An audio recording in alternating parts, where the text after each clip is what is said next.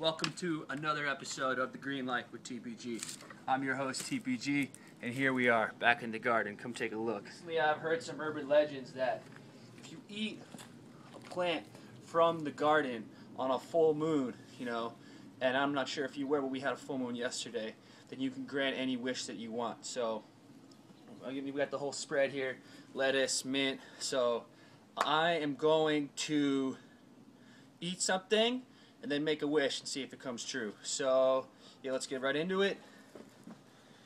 Uh, we're going to go with. Don't want to, but we'll go with the lettuce. Okay, here we go.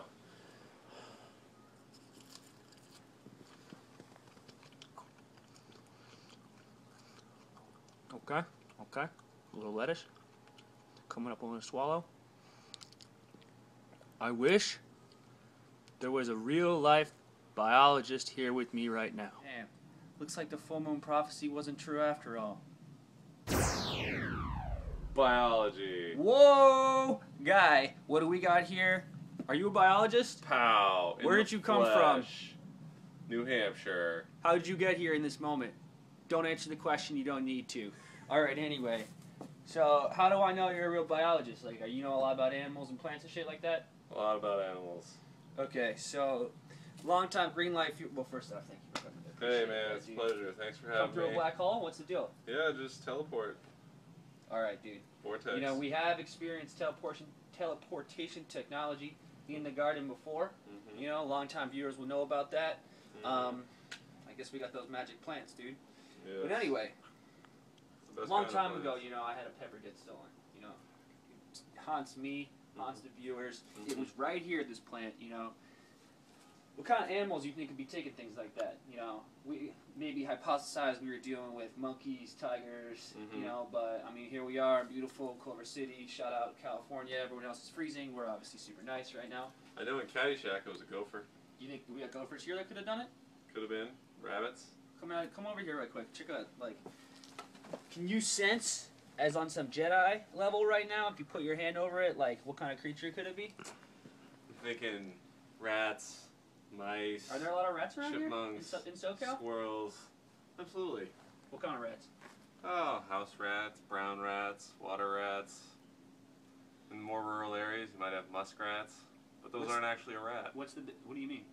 They're a larger type of rodent. If we were going to be talking about rats that could become as big as Master Splinter, what is the biggest rat in the world? Well, the biggest rodent in the world is a capybara Where is that located? in north northern parts of South America, the Amazon. Like, are we talking like this big? Like, what do we do? Like like like this big. Are you serious? Yeah, yeah. A yeah. rat? 100, 100 pounds, more than 100 pounds. What do they eat? Uh, vegetation. They uh, live in the swamps and forests and rainforests of the Amazon and Venezuela, Guyana. Yo, French like this video if you want to see a green life video in the Amazon. Real talk. All right, let's go check out this broccoli for a second here. All right. You know, this is obviously a new crop that we're growing. Mhm. I said earlier that I'm just totally confused with it, but it smells good, right? It smells green. it's amazing. Actually, let me get in there. Ooh, hey there. Yeah. Yo, I look at a, a broccoli creature like this, and because that's what it is. You know, plants. These plants are alive. They got some energy Mhm. flowing through them. Mm-hmm. Um, it looks alien to me. Mm-hmm. What? What's the most far out creature you've ever encountered in your biology experience? Uh, like you were like, I don't feel like I'm on Earth because I'm looking at this thing. platypus was up there, that's for sure. This thing with a snout.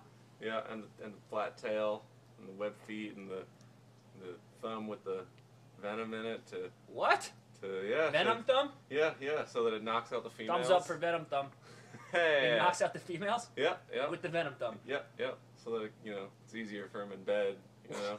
What, dude? Yeah. Are you serious? yeah, they have no stomach. They uh, lay eggs. Uh, This is a mammal. yeah, the oldest mammal. Okay. Yeah, it evolved- Percentage it- chance that it- they are connected to aliens.